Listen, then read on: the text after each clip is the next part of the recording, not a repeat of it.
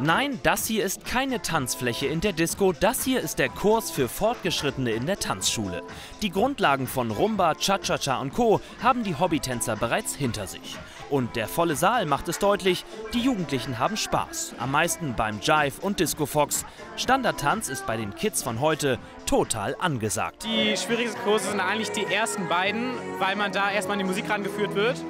Aber sobald man das sozusagen überstanden hat, kommt man ganz gut voran und dann, es wird auch sozusagen immer leichter. Die Figuren werden schwerer, aber die Technik, die man halt so schon drauf hat, es wird eigentlich immer leichter zu lernen. Ich habe es versucht und ich äh, habe meine Leidenschaft dafür entdeckt und ich fand es cool und bin dabei geblieben. Ja, man kann einfach so von der Schule mal runterkommen sozusagen und mal was anderes machen. Und es ist auch nicht so was wie Sport, wo man sich so richtig anstrengen muss, sondern man kann einfach so ein bisschen runterkommen und Spaß haben und neue Leute kennenlernen.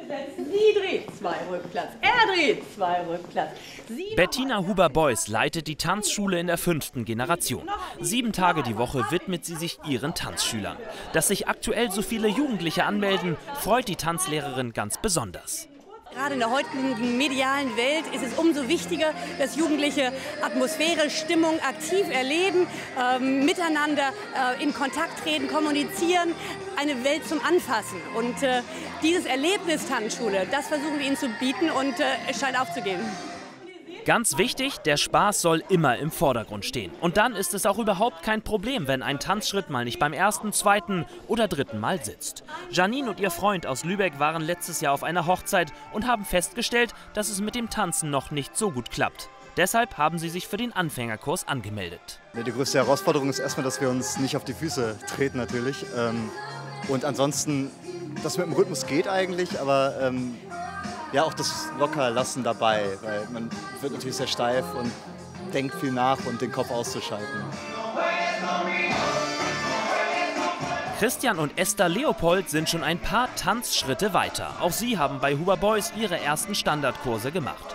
Inzwischen tanzen sie in einer Formation und bringen anderen das Tanzen bei. Ich wollte eigentlich nie tanzen, aber es ist so das Klassische nach der Konfirmation. Sagt man alles klar, wenn man später mal auf einer Hochzeit ist und man wird aufgefordert, dann sollte man wenigstens den Grundkurs gemacht haben.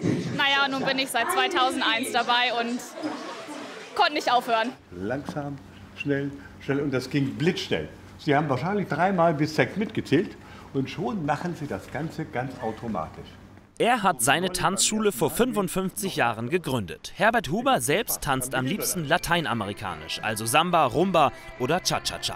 Mit seinen heute 80 Jahren hat er das Zepter zwar schon längst an seine Tochter weitergegeben, bei den Kursen ist er aber immer noch mit vollem Elan dabei. Das Grundprinzip ist, dass wir den Menschen Tanzen vermitteln wollen, dass sie Spaß haben, dass sie Freude haben. Und wenn sie dann äh, rausgehen und sich bedanken, dass es ein toller Abend war, dass sie was gelernt haben, und dann sind wir natürlich auch zufrieden. Das ist unsere Rückmeldung, die uns immer wieder motiviert, äh, in jeder Gruppe eigentlich äh, so entspannt zu sein und das Beste eigentlich daraus zu machen für die Leute. Dazu gehören nicht nur die Standard-, sondern auch Partytänze, die bei den Jugendlichen übrigens sehr beliebt sind.